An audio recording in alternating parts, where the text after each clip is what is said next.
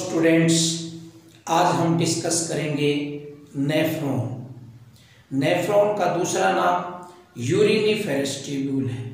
जैसा कि हमने पिछले लेक्चर में आपको बताया था, जो किडनी है, वो इन छोटी छोटी यूनिटों से मिलके बनी है और इन छोटी छोटी यूनिटों को ही हम नेफ्रॉन कहने लग रहे हैं। आइए देखिए, आज इस नेफ्रॉन के बारे में कि किस तरीके से नेफ्रॉन फिल्ट्रेशन ऑफ़ ब्लड में काम करता है। इसके कौन कौन से कंपोनेंट ब्लड को फ़िल्टर करने में मदद करते हैं? तो आइए डिस्कस करते हैं। नेफ्रॉन या यूरिनिफेरस ट्यूब्यूल। नेफ्रॉन या यूरिनिफेरस ट्यूब्यूल। सबसे पहली बात, जो नेफ्रॉन है, nephron is the structural and functional unit of kidney. Nephron is the structural and functional unit of kidney. Unit of kidney. Kidney की जो स्ट्रक्चरल और जो फंक्शनल यूनिट का अगर नाम पूछे तो आपको क्या बताना है nephron which play important role in which play important role in filtration of blood in filtration of blood in filtration of blood में नेफ्रॉन का बड़ा रोल है nephron is small three centimetre long एक छोटा सा three centimetre thin thin comma highly coiled highly coiled tubular structure tubular structure.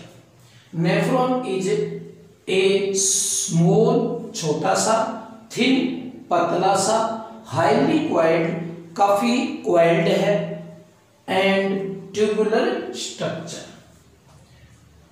tubular structure है। Each kidney each kidney bears about एक kidney के अंदर about one million nephron one million ten lakhs one million nephron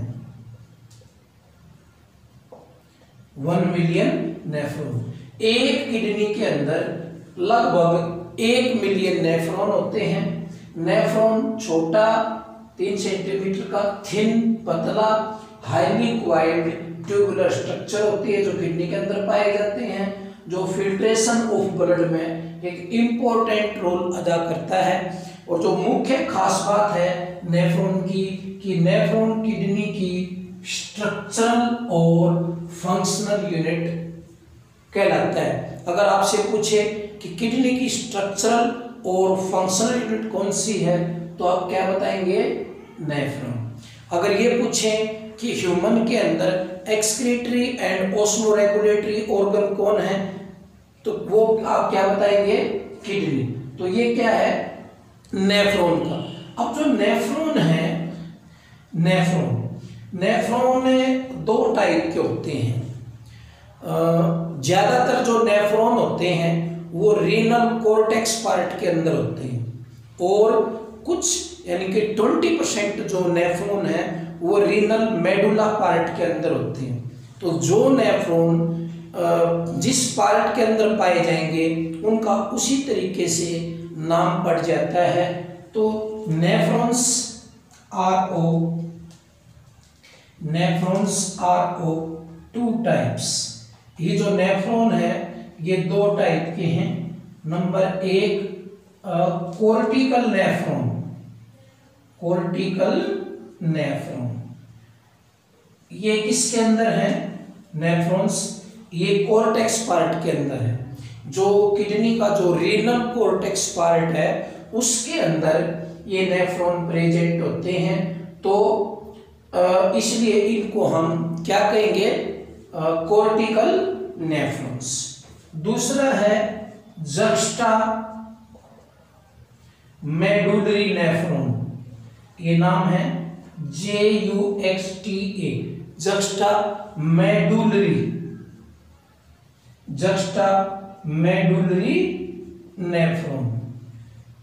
ये medullary part, यानी कि जो renal medulla part है, उसके अंदर ये होते हैं। तो दो किस्म के nephron on the basis of their position if the nephrons are present in renal cortex part then they are known as cortical nephron while uh, some nephrons are also present in medullary part of kidney they are commonly known as juxta medullary nephron अब हम एक छोटा सा diagram बताते हैं उसके माध्यम से आप इन दोनों में कुछ डिफरेंस की बातें भी लिख सकते हो देखिए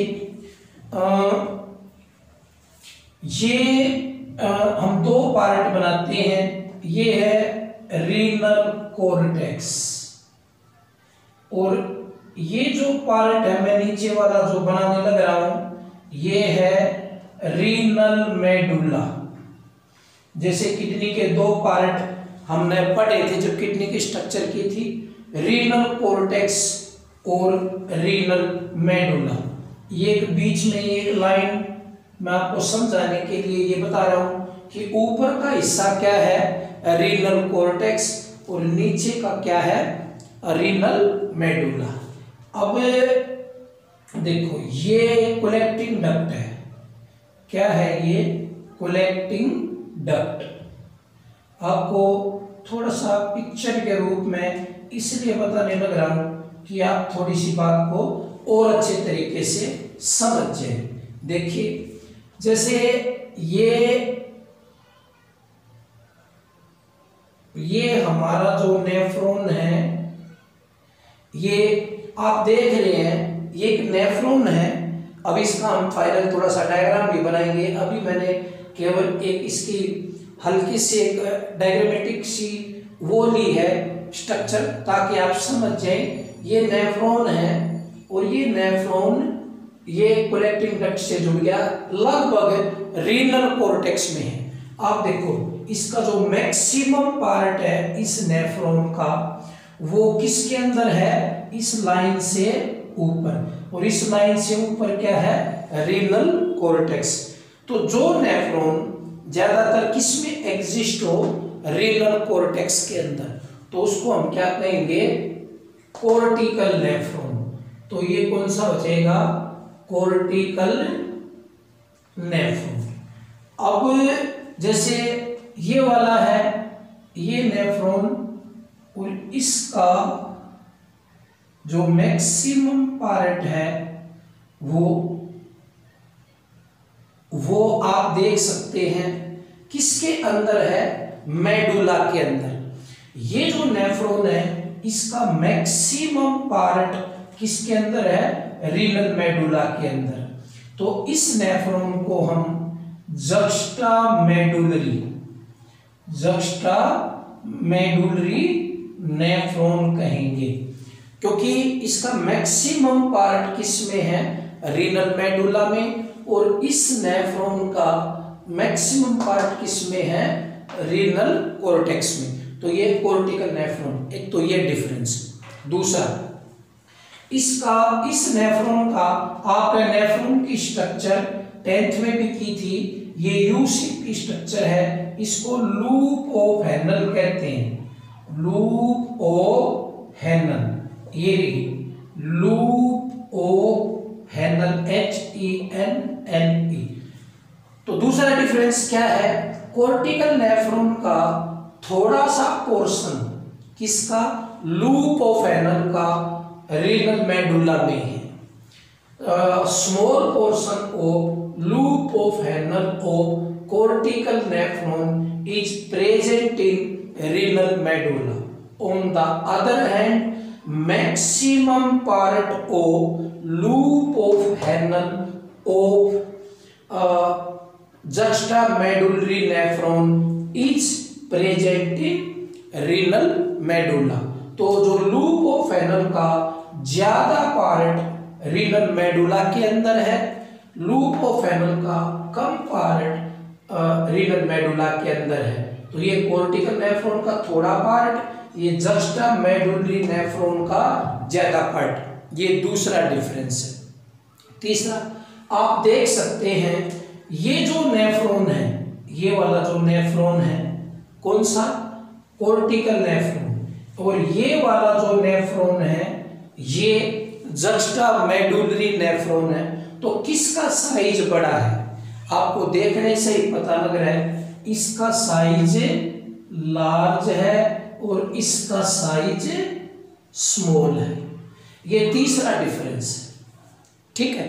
और जो चौथा डिफरेंस है, वो आपको मैं और बता दूँ, जो कॉर्पिकल नेफ्रॉन है, वो टोटल नेफ्रॉन का 80 परसेंट बनाते हैं। यानी कि cortical nephrons form 80 percent of total nephrons यानी कि अगर मान लीजिए 100 नेफ्रॉन है तो 80 नेफ्रॉन कौन से मिलेंगे?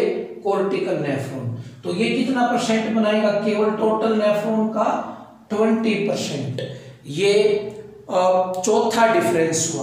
पहला डिफरेंस ये साइज़ का छोटा, ये साइज़ का बड़ा। ये कोर्टेक्स में ज़्यादातर, ये मेडुला में ज़्यादातर। दो डिफरेंस इसका लूप ऑफ़ एनल थोड़ा सा, थोड़ा पार्ट है मेडुला के अंदर इसका लूप ऑफ़ एनल ज़्यादा पार्ट है मेडुला के अंदर तीसरा डिफरेंस ये टोटल नेफ्रॉन्स के 80 परसेंट होते हैं और ये टोटल नेफ्रॉन के 20 परसेंट होते हैं.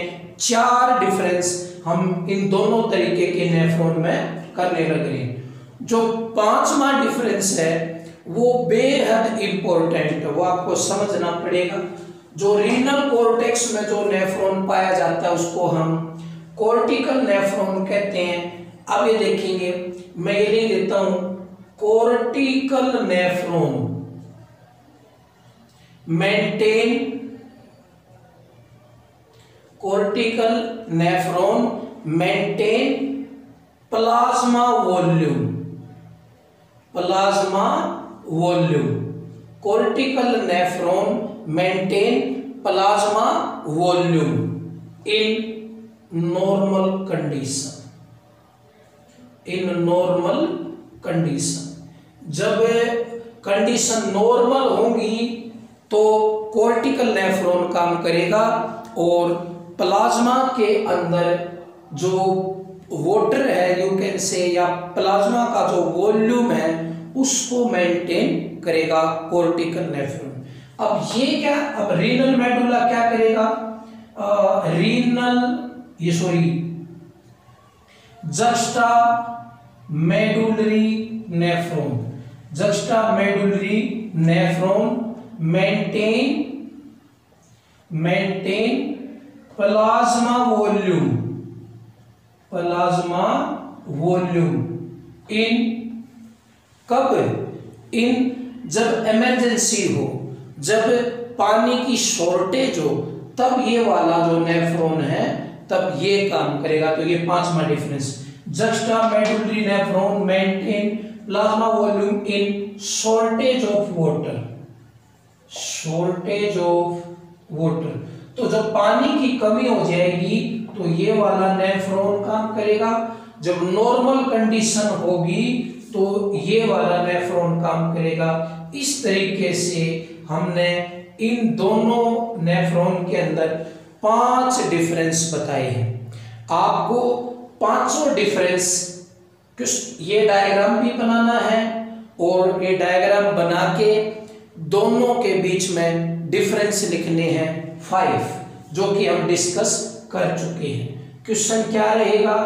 आपका right difference between cortical nephron and juxta medullary nephron. क्या क्वेश्चन रहेगा आपका? Difference between cortical nephron and juxta medullary nephron. और पाँच डिफरेंस लिखने हैं। और ये जो मैंने अभी इनका जो एक फ़ोटो बनाया था, वो भी बना दें। ये पहले बना दें या बाद में बना दें? इस फ़ोटो से हमें काफ़ी मदद मिलती है इन दोनों में। डिफरेंस करने के लिए। अब अब हम करते हैं component of nephron component of nephrons जो नेफ्रॉन है, उसके कंपोनेंट अब देखो, जो नेफ्रॉन है, उसके कंपोनेंट कौन कौन से हैं? नंबर वन बोमन कैप्सूल एक तो बोमन कैप्सूल अभी हम इसको डायग्राम के में आपको दिखाएँगे। बोमन कैप्सूल उसके बाद पीसीटी इसकी फुल फॉर्म है। प्रोक्सिमल पीसीटी की फुल फॉर्म प्रोक्सिमल प्रोक्सीमल का मतलब आगे वाला। प्रोक्सिमल कॉन्वोलुटिड कॉन्वोलुटिड का मतलब क्वाइल्ड ट्यूब्यूल का मतलब ट्यूब लाइक स्ट्रक्चर तो आगे वाली coiled tube like structure proximal का मतलब आगे वाला कॉन्वोलेटेड का मतलब ट्यूब क्वाइल्ड और ट्यूब्यूल का मतलब ट्यूब लाइक तो पीसीटी की फुल फॉर्म है प्रोक्सिमल कॉन्वोलेटेड ट्यूब्यूल और पीसीटी सेकंड कंपोनेंट है नेफ्रॉन का। तीसरा loop of Henle H E N L E H E N L E loop of Henle और फोर्थ हमारा जो पॉइंट है वो है डी सी टी डी का मतलब डिस्टल सी का मतलब वही कौन वो लुटिड और टी का मतलब tubule distal convoluted tubule distal का मतलब पीछे वाला. कॉन्वोलेटेड का मतलब क्वाइल्ड और ट्यूबुल का मतलब ट्यूब लाइक तो पीछे वाला क्वाइल्ड ट्यूब लाइक स्ट्रक्चर तो डीसीटी डिस्टल कॉन्वोलेटेड ट्यूबुल। अब डीसीटी के बाद फिर आता है कोलेक्टिंग डक्ट। फिर क्या है? Collecting duct. तो ये जो कंपोनेंट हैं, ये कंपोनेंट किसके होते हैं? नेफ्रॉन के। अब जैसे हम थोड़ी सी ये स्ट्रक्चर बनाए थोड़ी सी अगर आप समझें, देखो, ये मैंने एक रफ फिगर सी, एक रफ डायग्राम सा बनाया है, बस इन्हीं कंपोनेंट को हाईलाइट करने के लिए। देखो, ये वाला जो कप लाइक स्ट्रक्चर आपको जो दिखाई देने लग रहा है ये कप लाइक स्ट्रक्चर क्या है? बोमन कैप्सूल ये जो कप लाइक स्ट्रक्चर है, ये क्या है? बोमन कैप्सूल अब ये जो, ये हाईली क्वाइल्ड स्ट्रक्चर है, ये जो हाईली क्वाइल्ड स्ट्रक्चर है, ये इसको हम कहेंगे पीसीटी प्रोक्सिमल कॉन्वोलेटेड ट्यूब्यूल अब ये जो यू शेप स्ट्रक्चर है, ये वाला जो ये पूरा यू शेप की स्ट्रक्चर है, ये इसकी डिसेंडिंग लिम्ब है और ये इसकी असेंडिंग लिम्ब है। ये डिसेंडिंग लिम्ब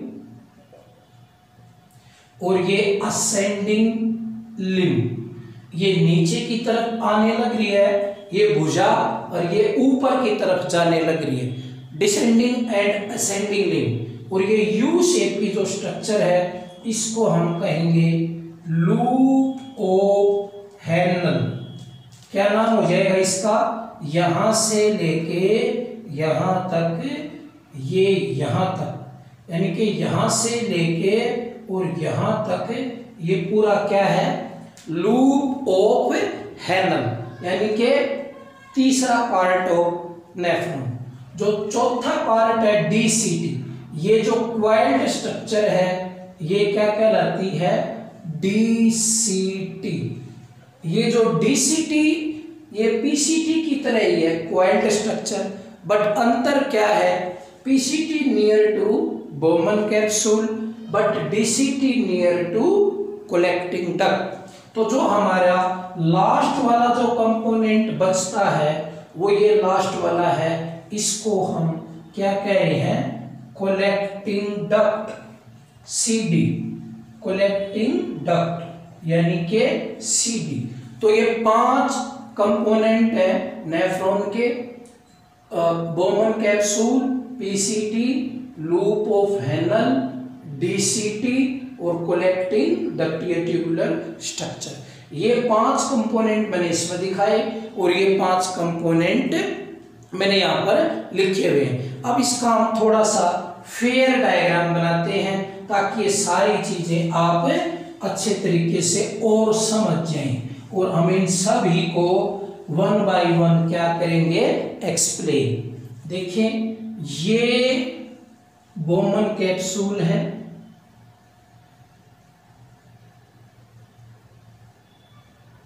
ये क्या है? बोमन कैप्सूल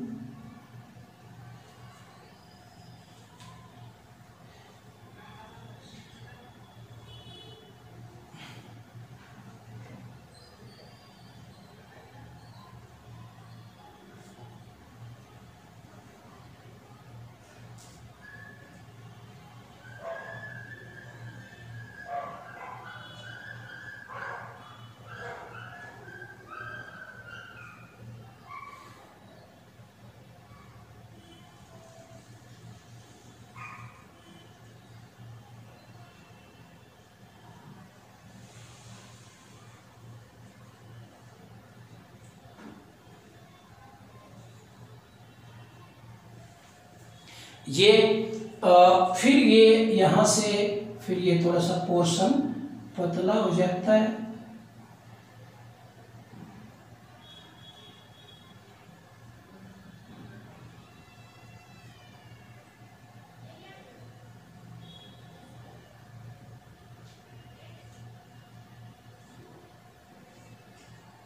और फिर ये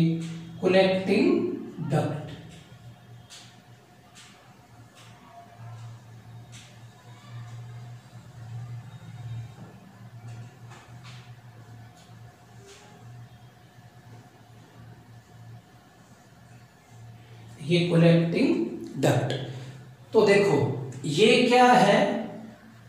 बोमन कैप्सूल ये क्या है? पीसीटी ये क्या है? लूप ऑफ़ हैनल ये, और ये क्या है? डीसीटी और ये छोटे सी आर्क शेप स्ट्रक्चर है, ये वाली इसको हम सीटी कहते हैं। कोलेक्टिंग ट्यूब्यूल क्या कहते हैं? कोलेक्टिंग ट्यूब्यूल और ये एक लंबी लार्ज ट्यूबुलर स्ट्रक्चर है। इसका नाम है सीडी कोलेक्टिंग डक्ट अब देखो, ये ये जो नीचे वाली है, इसको हम क्या कहेंगे? डिसेंडिंग डिसेंडिंग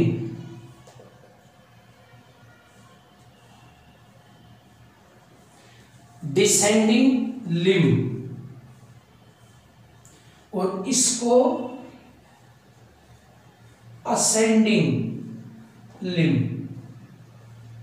ये जो ऊपर जाने लग रही है, ये तो होगी असेंडिंग लिम और ये नीचे आने लग रही है, ये क्या है? डिसेंडिंग लिम अब थोड़ा सा ये पोर्शन क्या है? इसका ये क्या है? थिन और ये पोर्शन क्या है? थिक यानी कि जो डिसेंडिंग लिम है, उसमें भी थिन और थिक दो पोर्शन है। यानी कि जो डिसेंडिंग लिम में दो पोर्शन है, ये थिन पोर्शन थिन रीजन और बीच वाला थिक रीजन इसी तरीके से असेंडिंग लिम में भी दो पोर्शन है। ये कौन सा है? थिन और ये कौन सा है? थिक इस थिन और थिक इस पूरे लूप ऑफ़ एनल में असेंडिंग डिसेंडिंग, थिन और थिक का क्या रोल है, हम डिस्कस करेंगे mechanism of formation of urine में। जब यूरिन की फॉर्मेशन का मैकेनिज्म करेंगे तो हम बताएँगे जो डिसेंडिंग लिम है, उसमें थिन रीजन का क्या रोल है, थिक रीजन का क्या रोल है। उसी तरीके से जो असेंडिंग लिम है उसमें थिक रीजन और थिन रीजन का क्या रोल? और पूरे जो लूप ऑफ़ एनल है, यू शेप की स्ट्रक्चर उसमें इसका क्या रोल? दूसरा दूसरा, अब यहाँ से जो हमारी एक ब्लड वेसल्स ब्लड लेके आती है और इस पूरे बोमन कैप्सूल के अंदर वो ऐसे फैल जाती है।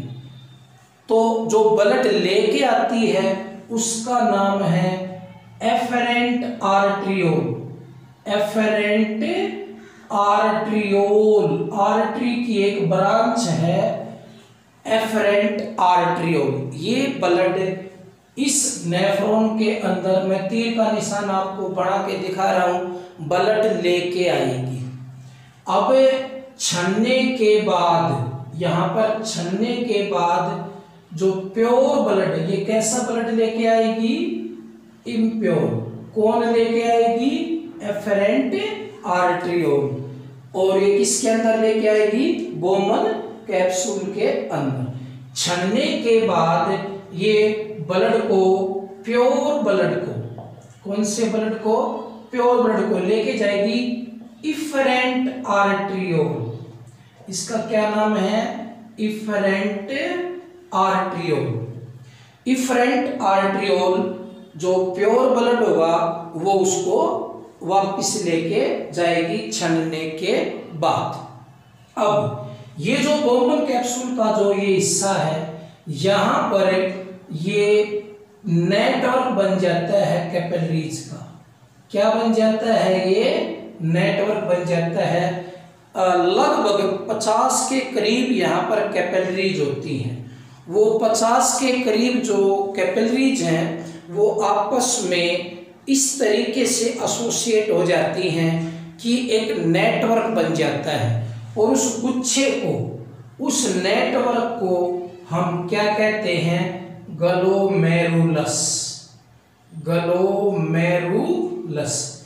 Glomerulus network of capillaries को कहते हैं। नेटवर्क ऑफ़ कैपिलरीज और ये लगभग 50 के करीब होती हैं। तो ये जो नेटवर्क ऑफ़ कैपिलरीज बनता है, जो जाल बनता है, लगभग 50 कैपिलरी का, उस जाल को हम क्या कहते हैं? गलोमेरुलस अब हमारे पास दो चीज़ें हैं। एक तो ये बोमन कैप्सूल ये कपलाइक स्ट्रक्चर बीसी और दूसरा इसके अंदर जो नेटवर्क ऑफ़ कैपिलरीज बना हुआ है, जिसको हम ग्लोमेरुलस कहते हैं, इन दोनों को मिला दिया जाए ग्लोमेरुलस को और बोमन कैप्सूल को। मैं लिख देता हूँ ग्लोमेरुलस प्लस बोमन कैप्सूल इन दोनों को मिला दिया जाए तो उसको हम मालफीजियन बॉडी कहेंगे। Malpighian body. क्या कहेंगे उसको? Malpighian body. मतलब मालफीजियन बॉडी दोनों को मिला के बोलते हैं किस किस को? गलो गलोमेरुलस को और बोमन कैप्सूल को। जो बोमन कैप्सूल है, वो कपलाइक स्ट्रक्चर है और जो गलो गलोमेरुलस है, वो मैंने बताया था ये नेटवर्क है, ये जाल है कैपिलरीज का। लगभग इसके अंदर 50 कैपिलरीज हैं। वो आपस में गुथ के एक जाल बनाती है, उसको ग्लोमेरुलस कहते हैं। तो glomerulus plus Bowman capsule is known as Malpighian body M A L P I G H I A M Malpighian body ठीक है, अब आपको एक और बात यहाँ पर देखनी है। जो ये बोमन कैप्सूल है, ये बोमन कैप्सूल इसकी दो लेयर्स हैं, इसकी दो वॉल हैं, इसकी दो वॉल हैं। एक तो ये वाली वॉल और एक ये वाली वॉल आपको दिखाई भी देने लग रही होगी। ये दो वॉल है। ये इनर वॉल है, इसको विसरल वॉल बोलते हैं। क्या बोलते हैं? विसरल वॉल और ये जो बाहर वाली है, इसको पेरिटल पेरिटल वॉल। तो दो वॉल होती हैं, विसरल वोल और पेरिटल वोल। जो ये विसरल वोल होती है, इसमें छोटे छोटे पोर होते हैं, पोडोसाइट सेल होती हैं, और ये पोरस होती है, और ये थिन होती है। इसका रोल हम जब मैकेनिज्म ऑफ़ यूरिन फॉर्मेशन करेंगे तो वहाँ पर डिस्कस करेंगे अभी आप ये समझ लें जो बोमन कैप्सूल है वो दो वोल से ब, आ, आ, बना हुआ है अंदर वाली वोल को विसरल और बाहर वाली को पेरिटल और इसके अंदर जो गुच्छा है जो जाल है वो ग्लोमेरुलस है ग्लोमेरुलस प्लस बोमन कैप्सूल को मालफिजियल बॉडी कहते हैं इम्प्योर ब्लड किसके थ्रू नेफ्रॉन आएगा एफरेंट आर्टियोल के थ्रू और छनने के बाद इस पूरे मालफिजियल बॉडी में छनने के बाद जो प्योर ब्लड है, वो किसके थ्रू, तीर का निशान बाहर की तरफ़ दिखाया है इफरेंट आर्टियोल के थ्रू वापस चला जाएगा। अब छोटी सी बात है, जो बड़ी बड़ी चीज़ें हैं, जैसे आरबीसी डब्ल्यूबीसी ब्लड प्लेटलेट और प्रोटीन ये बड़ी चीज़ें हैं। कौन कौन सी आरबीसी डब्ल्यूबीसी प्लेटलेट्स प्रोटीन वो तो यहाँ पर छनेगी नहीं, क्योंकि उनका साइज़ बड़ा होता है। बाकी जितनी भी ब्लड के अंदर डिजोल्ड सब्सटेंस है, चाहे वो ग्लूकोज हो, चाहे अमीनो एसिड हो, चाहे फैटी एसिड हो, चाहे मिनरल्स हो, चाहे सोल्ट हो, चाहे आयंस हो, चाहे कुछ भी हो चाहे यूरिया हो चाहे अमीनो एसिड हो चाहे गैसिज हो कुछ भी हो, वो इन चार चीज़ों को छोड़ के सारी की सारी वो प्लाज्मा के साथ इनमें से ऐसे सर्कुलेट करेंगी, ऐसे सर्कुलेट करेंगे। ये चार चीज़ें तो यहाँ छड़ नहीं पाएँगी, क्योंकि उनका साइज़ बड़ा है। बाकी सारी डिजोल्ड सब्सटेंस प्लाज्मा में ये ऐसे, जो पूरा जो नेफ्रॉन है इसमें ऐसे सर्कुलेट करेंगे। जो काम की चीज़ होगी, उनमें से वो तो बाहर निकाल ली जाएगी। कहीं पर भी ये तीर का निशान बाहर की तरफ़ दिखा रहा हूँ, ये तीर का निशान बाहर का मतलब है वो तो बाहर, यहाँ यहाँ बाहर, यहाँ। इसको हम टिश्यू फ्लूड कहेंगे। जो बाहर है, वो क्या है? टिश्यू फ्लूड ये ध्यान से देखिए जो बाहर है इस नेफ्रोन के बाहर, वो क्या है? Tissue fluid. तो जो जितनी भी काम की चीज़ें होंगी, वो तो किसमें एब्जॉर्ब कर ली जाएँगी? टिश्यू फ्लूड के अंदर। बाकी जो चीज़ काम की नहीं है, जो एक्सेस है, जो अनवांटेड है, जो टॉक्सिक है, जो वेस्ट है, वो इसमें से चलती चलती चलती चलती, धीरे धीरे धीरे धीरे, और सभी पार्ट से होती हुई कलेक्टिंग डक्ट से होती हुई, और ये यूरिटर में खुल जाएगी। किसमें खुल जाएगी? यूरिटर के अंदर। तो दो चीज़ें हैं ब्लड के अंदर। काम की चीज़ें और वेस्ट चीज़ें। तो काम की चीज़ें कौन एब्जॉर्ब कर लेगा? टिश्यू फ्लूड जो इस नेफ्रॉन के बाहर जो भी फ्लूड भरा हुआ है, वो टिश्यू फ्लूड है तो काम की चीज़ें किसमें आ जाएँगी? टिश्यू फ्लूड में। और जो टिश्यू फ्लूड में काम की चीज़ें नहीं है, वो वापिस किसमें डाल दी जाएँगी? नेफ्रॉन के अंदर। और जो इसके अंदर बची हुई का खराब चीज़ें हैं, और जो टिश्यू फ्लूड ने जो खराब चीज़ें इसके अंदर डाली हैं, वो सारी किसमें पहुँच जाएँगी? कोलेक्टिंग डक्ट में। और फिर कोलेक्टिंग डक्ट से वो किसमें चली जाएँगी? यूरिटर में। और फिर यूरिटर से किसमें यूरिनरी ब्लैडर के अंदर। तो इस तरीके से ये पूरा नेफ्रॉन ब्लड को छानने का काम करता है। काम की चीज़ें अपने पास रख लेता है टिश्यू फ्लूड के अंदर रख लेता है, वहाँ से वो काम की चीज़ें दोबारा ब्लड के द्वारा फिर से रीएब्जॉर्ब कर ली जाती हैं और जो बेकार चीज़ें हैं, वो इस पूरे नेफ्रॉन के थ्रू यूरिटर में पहुँच जाती हैं और फिर यूरिटर यूरिनरी ब्लैडर में खुलते हैं और यूरिनरी ब्लैडर से यूरिथ्रा से होते हुए यूरिन को उन बेकार चीज़ों के साथ बाहर निकाल दिया जाता है। तो अभी जस्ट हमने थोड़ा सा इनका क्या किया है, या आपको थोड़ा सा समझाने की कोशिश की है कि ये इसके पार्ट हैं, कैसे ब्लड आएगा कैसे छनेगा, किस किस पार्ट से जाएगा, काम की चीज़ें कहाँ पर रह जाएँगी, बेकार की चीज़ें कैसे सर्कुलेट करके बाहर निकल जाएँगी, कितने पार्ट हैं, कौन सा पार्ट किसके बाद आता है, ये सारी चीज़ें इसमें बताई हैं। नेक्स्ट लेक्चर में हम डिस्कस करेंगे इन सभी पाँचों कंपोनेंट को वन बाय वन जो बातें मैंने यहाँ बताई हैं, उन्हीं को आधार बना के इनकी हम डिस्क्रिप्शन करेंगे।